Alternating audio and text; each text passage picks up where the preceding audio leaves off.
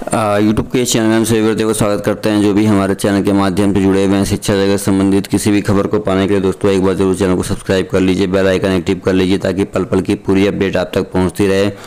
जैसा कि काउंसलिंग को लेकर अभ्यर्थियों की निगाहें बहुत लंबे समय से टिकी हुई हैं कि भाई कब तक काउंसलिंग होगी। ऐसे में देखिए, एक अपडेट सामने उभर के आ रही है। प्राथमिक शिक्षा निदेशक डॉक्टर रंजीत कुमार सिंह ने फिर से एक ट्वीट किया है और ट्वीट के माध्यम से जानकारी दी है। कि कब तक जो है शिक्षक नियुक्ति की प्रक्रिया संपन्न होगी। वहीं काउंसलिंग को लेकर देखिए उन्होंने कहा है कि जल्दी आएगी काउंसलिंग की डेट जी हाँ दोस्तों, शिक्षा विभाग में जो कुछ चलता है, वो प्राथमिक शिक्षा निदेशक को पता चल जाता है। इसी को लेकर उन्होंने ट्वीट किया है और ट्वीट के माध्यम से जानकारी दी है दोस्तों कि जल्द से जल्द जो है वो काउंसलिंग की डेट जो है वो आने जा रही है।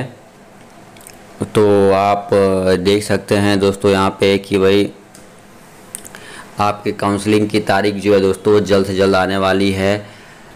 तो देख सकते हैं, प्राथमिक शिक्षा निदेशक ने जो ये ट्वीट किया है, वो मैं आपको दिखा देता हूँ। यूथ ऑफ़ बिहार पे देख सकते हैं। आगे देखते हैं दोस्तों, फोल्डर अपलोड नहीं किया तो जाएगी नौकरी, अब तक मिली राशि भी वसूली जाएगी। अठासी हज़ार शिक्षकों को एक माह में ब्यौरा अपलोड करना होगा। देख सकते हैं दोस्तों, कहा गया है कि एक माह का समय दिया गया और कहा गया है कि एक माह के भीतर ये है जो ब्यौरा अपलोड करना होगा। और देख सकते हैं क्या कुछ लिखा हुआ है, वो भी आप पढ़ लीजिए इसमें।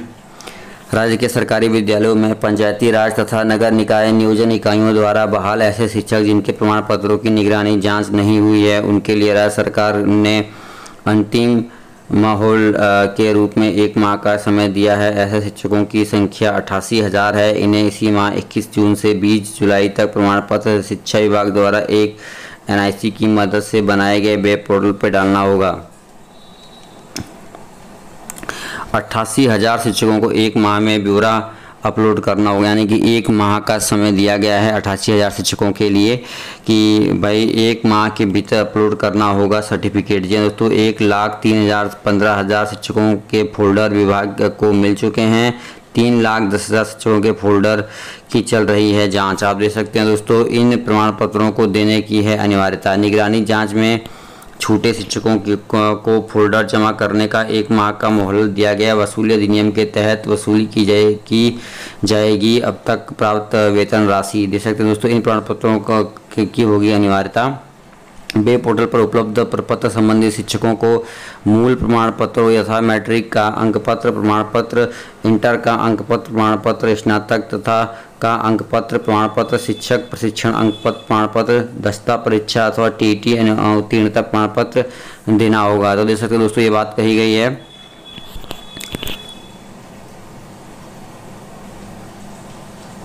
आगे देखिए, यहाँ पे क्या कुछ लिखा हुआ है, आप पढ़ सकते हैं। शिक्षक ऐसे देखेंगे, अपना नाम और फोल्डर।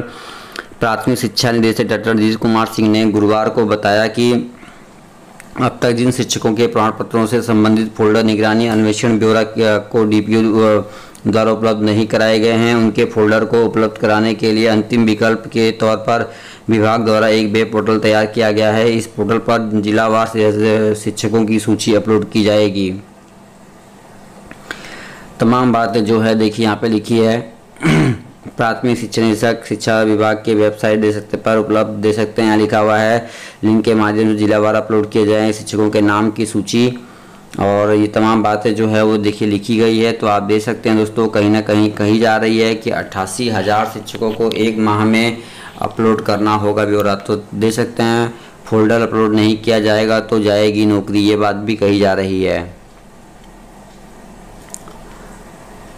आगे देखिए खबर आ रही है कि सामान्य कोटि के अभ्यर्थी 22 बयालीस अंक पर होंगे उत्तीर्ण। जी हाँ दोस्तों, बयालीस अंक पे उत्तीर्ण करने की बात कही गई है। बीएड देखिए इंट्रेंस परीक्षा है, जिसमें कहा गया है कि भाई अभ्यर्थी बयालीस नंबर अगर लाते हैं तो वो सामान्य कोटि के अभ्यर्थी भी उत्तीर्ण माने जाएँगे, ठीक है?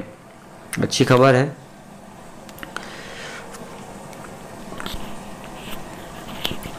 देख सकते हैं, निगरानी जाँच में से छूटे तिरानवे हज़ार शिक्षकों की नौकरी पर संकट। सत्रह जुलाई तक पोर्टल पर सर्टिफिकेट अपलोड नहीं किया जाएगा तो जाएगी नौकरी।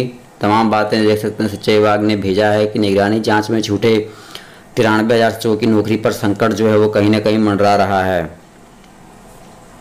निगरानी जाँच में छूटे तिरानवे हज़ार शिक्षकों की नौकरी पर तलवार लटकी है। सत्रह जुलाई तक जिला के एनआईसी पोर्टल पर जो शिक्षक सभी ज़रूरी का सर्टिफिकेट अपलोड नहीं करेंगे उनकी बहाली फर्जी मानते हुए हटा दिया जाएगा। निगरानी जाँच में सर्टिफिकेट फर्जी मिलने पर नौकरी के से हटाने के साथ ही वेतन की रिकवरी भी होगी। बुधवार को इस संबंध में सिंचाई विभाग ने सभी डीओ को और डीपीओ स्थापना को पत्र भेज दिया है। इससे पहले सभी जिलों के पोर्टलों पर ऐसे लगभग तिरानवे हज़ार नियोजित शिक्षकों के नाम स्कूल अपलोड किए जा चुके हैं। अब इन शिक्षकों से सर्टि, उनका सर्टिफिकेट अपलोड करना है। दो से दो तक विभिन्न नियोजन इकाइयों से बहाल शिक्षकों के में एक दशमलव ज़ीरो तीन लाख शिक्षकों के फोल्डर शैक्षणिक प्रशिक्षण सर्टिफिकेट निगरानी की जाँच के लिए नहीं मिले थे। बाद में पिछले दिनों समीक्षा में पाया गया कि इसमें अब तिरानवे हज़ार शिक्षक ही ऐसे बचे जिस पिछले काफ़ी दिनों से जाँच में छूटे शिक्षकों के नाम एनआईसी की वेब पोर्टल पर अपलोड करने की बात कही जा रही है। तो देख सकते हैं दोस्तों, कहा जा रहा है कि भाई 17 जुलाई तक पोर्टल पर सर्टिफिकेट अपलोड नहीं किया तो जाएगी नौकरी। आप देख सकते हैं दोस्तों बड़ी अपडेट सामने उभर के आ रही है कि तिरानवे हज़ार शिक्षकों की नौकरी पे कहीं ना कहीं तलवार लटकती हुई नज़र आ रही है।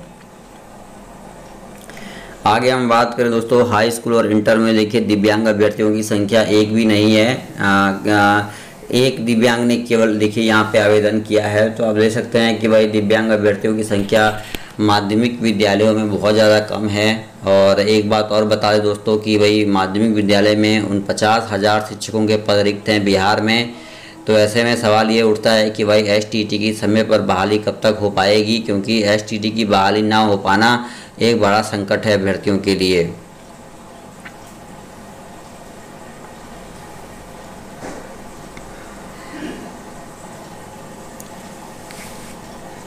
आगे देखिए क्या कुछ लिखा है, इसमें देख लेते हैं।